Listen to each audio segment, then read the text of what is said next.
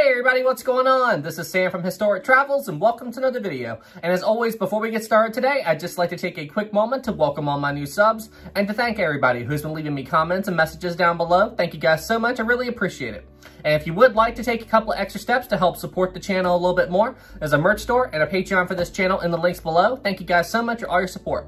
Now, before we begin today's video, I do have one quick thing I need to say. For everybody out there who's been messaging me about the brand new LEGO Titanic model kit and wondering if I know about it, yes, I am completely aware that this model kit exists, and from what pictures and videos I've seen of it, it looks absolutely incredible. And I have been considering purchasing this model kit and using it for a bunch of videos on my channel. But ultimately, what do you guys think? Do you guys think I should purchase this LEGO Titanic model kit and make some videos about it? Let me know what you think in the comments below. And speaking of Titanic, you know what we haven't done on this channel in a while is make a Titanic related video. So you know what? It's time to change that. So join me today in this video as we travel back to the Titanic and we cover a topic on the Titanic that we have not yet talked about on this channel. Alright guys, well hey, without any further ado, let's begin today's video. As we all know, on the night of April the 14th, 1912, RMS Titanic struck an iceberg in the North Atlantic, and then in the early hours of the morning on April 15th, 1912, the ship sank beneath the surface. And when the ship went down, she took the lives of 1,496 people who were still trapped on board the Titanic when she foundered. But for this video, I want to try to answer a question about the sinking. Who were the very first victims of the Titanic disaster? Now, just to clarify, I'm not including people who were killed during the Titanic's construction. I'm talking about on the night that the Titanic sank, who were the very first people to lose their lives in the sinking? That is a question that we're going to attempt to answer in today's video. Now you're probably thinking, there's no way we could possibly know the answer to this question. Surely there were some people within the Titanic occupying those front sections of the ship at the time of the iceberg impact, and those people would have been killed during the initial parts of the sinking, because they would have just been in those rooms, minding their own business, the Titanic strikes the iceberg, and then those people would have been killed when the hull of the Titanic opened up, and they would have been washed away or trapped by the initial onset of the flooding.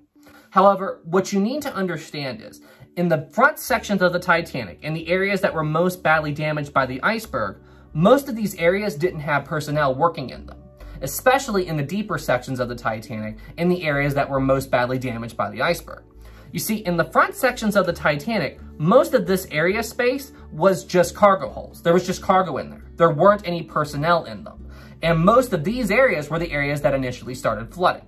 Now, there are a few exceptions to the rule. There is the fireman's bunk at the front of the ship, and you've also got the mail room. It's in the front sections of the ship. But still, the flooding seemed to be not too bad in these areas, at least at the at least in the beginning.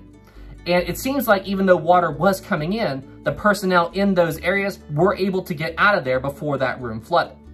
Now, the one section at the front of the Titanic that was severely damaged by the iceberg and did have crew in it was boiler room number six. But even still, even though the water was rapidly flooding that area, it seems like the crew of Boiler Room 6 was able to get out of there before that room flooded. Now, Boiler Room 5 also took some damage from the iceberg impact, but still, the flooding was very mild in there, at least at the beginning. And it, it would be a factor later, but not right now. Trust me, we'll talk more about Boiler Room 5 in a bit. But still, I hope you kind of see where I'm going with this. It seems like even though the flooding in the front sections of the Titanic was severe in the beginning, in the sections of the ship that had personnel in them, it seems like there was plenty of time for the personnel in those rooms to escape before that room flooded. So, with this information in mind, this allows us to narrow our search for the Titanic's first victims considerably. However, before we get into the story of who the first victims of the Titanic disaster might be, you need to first understand a little bit of the science behind the sinking of the Titanic so the story of the Titanic's first victims will make more sense to you. So, the RMS Titanic was divided into 16 watertight compartments, and of those 16 watertight compartments, the first four could be breached and the Titanic would not sink.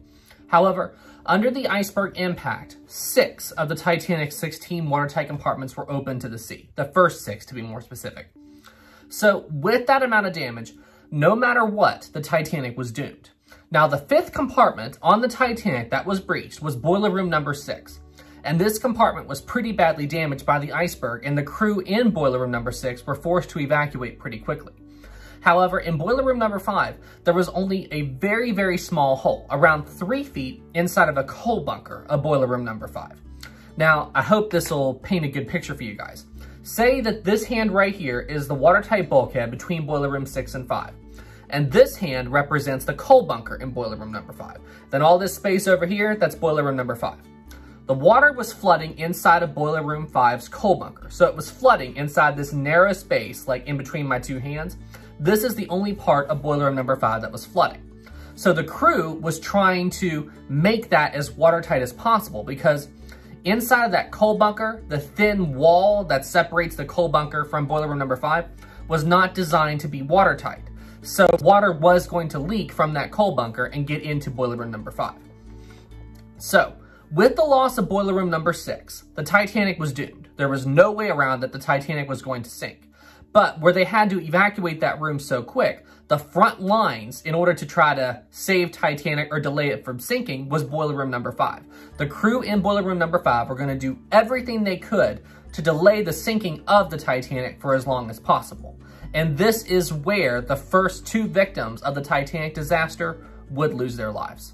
So, boiler room number 5, or the Titanic's sixth watertight compartment, literally was the front line in the battle to delay the Titanic from sinking. Now, the crew in Boiler Room 5, in order to try to hold back the water, wanted to use as many of the Titanic's pumps as possible in order to hold back the water. But in order to do this, there was yet another obstacle that the Titanic's crew had to overcome. These plans showcase the two different types of pumps that the Titanic's crew had available to them on the night of the sinking, and it also shows their location throughout the Titanic. Now, as you can see, most of the pumps on the Titanic were located towards the aft end sections of the ship. There aren't any pumps in the front sections of the Titanic. The only pump that is accessible to the crew that is located in the front sections of the Titanic is located in boiler room number 5, which is lucky for the Titanic's crew. But in order to use all the pumps, in order to try to hold back the water in boiler room number 5, the crew were going to have to run hoses from the back sections of the Titanic and bring them up to boiler room number 5. And this is what the crew in boiler room 5 were working on when disaster struck. Junior Assistant Engineer Jonathan Shepherd along with junior assistant engineer Herbert Harvey, were working together in boiler room number 5 to try to hold back the water for as long as possible. They were also working with lead fireman Frederick Barrett, whose testimony would soon be essential in understanding all the events that were about to transpire in boiler room number 5. Now, while all of these men were working in boiler room number 5 to try to hold back the water, the room wasn't completely dry while they were still in the process of bringing all the pumps online. You see, while they were working on this, there was around one to two, maybe three feet of water in boiler room five that had leaked through the coal bunker and into the room. So essentially what they had to do in order to bring boiler room 5's pumps online, the pumps were located on the floor and there was essentially an access plate built into the floor. And on top of that access plate, there was a hatch that the men had to open up, lift up and move out of the way. And then that would that would expose the access plate and then they could run the hoses into this and then this access plate fed into the Titanic's pumps, and then the Titanic's pumps could pump the water out. I hope I explained that good. But where there was already around three feet of water in boiler room number five, if you weren't watching where you were stepping, your foot could accidentally go into this access plate, and then you could break your leg or something when you slipped and fell into it. And this is exactly what happened. Jonathan Shepherd was walking through boiler room number five, not really watching where he was stepping, and his foot went into the access plate and he broke his leg. Now, Frederick Barrett and Harvey were quick to respond and they pulled Jonathan Shepherd out, but his leg was already broken. So they did what they could for him and they basically moved him out of the way and set him down in another part of boiler room number five. And then they went back to work to try to pump the water out. But the fact that Jonathan Shepherd broke his leg, this would be inevitably what led him to his death. Because when boiler room five would eventually flood, he would be unable to escape and he would be one of the very first victims of the Titanic disaster.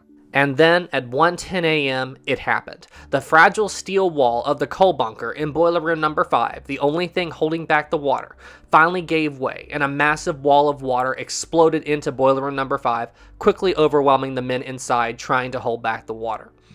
When this happened, the rush of water was so severe that the men inside this room had no choice but to evacuate. There was nothing any of them could do anymore. Boiler Room 5 was lost. Now, because Jonathan Shepherd had broken his leg, he was trapped in Boiler Room number 5 and unable to flee. And he would be the first victim of the Titanic disaster. But his death would also lead to the death of another man, Assistant Engineer Herbert Harvey. Harvey knew that Shepherd was trapped in boiler room number 5 and he decided to go back and try to save him. Frederick Barrett told him that it was too late, but Herbert Harvey didn't listen. And Frederick Barrett said that when Harvey went back into boiler room number 5, he saw a massive rush of water come in and sweep him away, and he lost sight of Harvey. So Jonathan Shepherd and Herbert Harvey were the first victims of the Titanic disaster, both lost when boiler room number 5 flooded. Anyway, guys, that's it for this video. Thank you all so much for watching. I hope you enjoyed it and found it interesting. And yeah, now you know the story of the first two people who lost their lives on board the RMS Titanic on the night of the sinking. And boy, let me tell you, their story really does show the amount of dedication and sacrifice that all of those engineers on board the Titanic were willing to make in order to, in order to try to delay the sinking of this ship. I mean, honestly, I think the men who stayed down in the boiler rooms and engine room throughout the sinking, I think that their sacrifice is one of the hardest that the, anybody on the ship that night had to make. I mean, think about it. Even though the officers on the Titanic's deck were, they weren't leaving the ship, they were getting the lifeboats away, they at least had a shot to survive when the Titanic went down because they could swim away from the sinking ship. But those men down in the boiler rooms and engine room, when the Titanic foundered, they had no chance of escape. And the fact that they chose to stay behind and stay deep within the ship in order to try to keep the power going and to hold back the water, honestly, to me, they really are some of the biggest heroes on board the RMS Titanic on the night of the sinking. And I think that we should all do as much as we can to spread their story so that their honorable sacrifice will never be forgotten. Thank you guys so much for watching. I hope you all have a great day, and I will see you guys in the next one. Have a good day, everybody. Special thanks to our captain level Patreon supporters, Greg Gallick and Callum Whaley. Thank you guys so much for all the support.